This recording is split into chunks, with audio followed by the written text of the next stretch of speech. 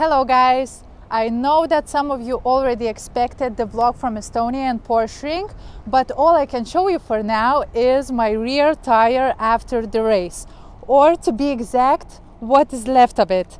Uh, but I promise you I will upload the part one of this vlog the next week. Uh, but for now, to be completely honest with you, I never thought that this day will come so quickly that I will have to say goodbye to my Suzuki so soon.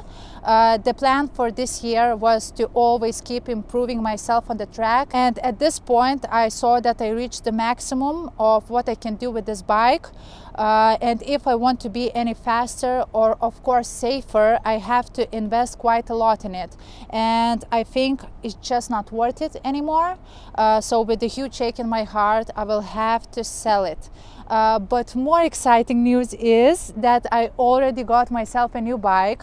I think it's not a surprise anymore because you already saw it in the title, but we came back to where we started.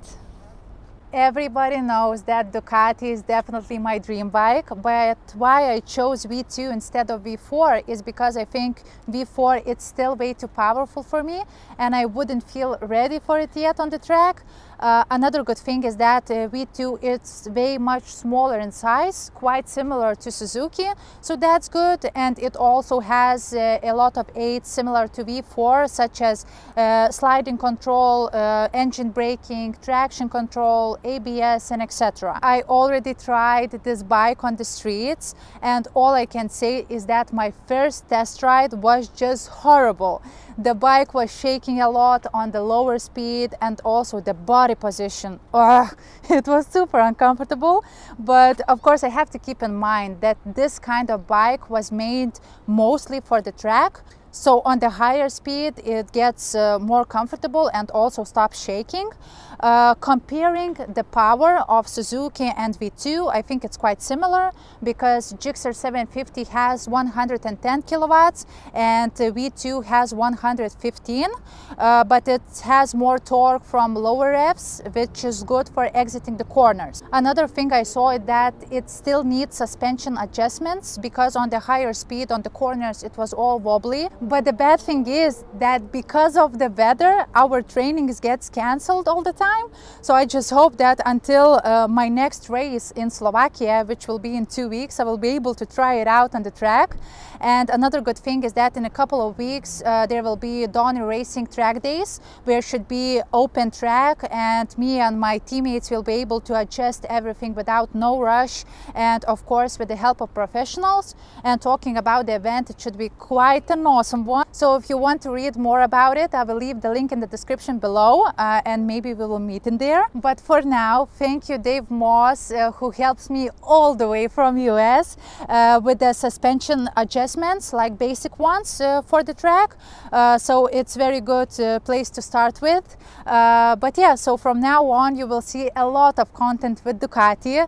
I just hope that I'm not doing the mistake because as you already know, uh, my Suzuki is my cup of tea. I know that bike uh, to the bits and also V2 is also all stock. Uh, so I just hope that I'm not doing the mistake. Uh, but of course, for now, the moment of silence and appreciation to my journey with Suzuki. Made a decision and this bike is already mine.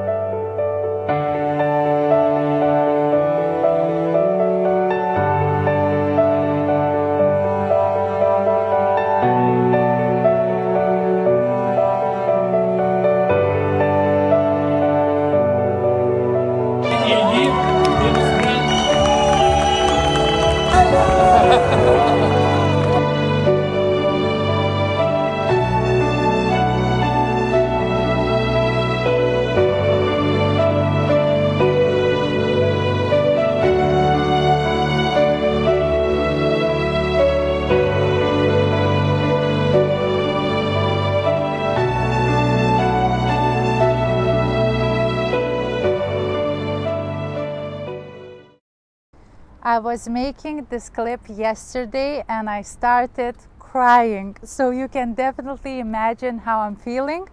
Uh, I think I will be sobbing when I have to sell this bike for someone. I just hope that it will go to good hands and someone will take care of it as much as I did. Uh, but for now, thank you guys for watching this video. I hope you enjoyed it. Don't forget to leave a thumbs up. Also comment down below what do you think about this change. Uh, also follow me on all social medias, Instagram, TikTok, Facebook, and as always, kisses. Bye.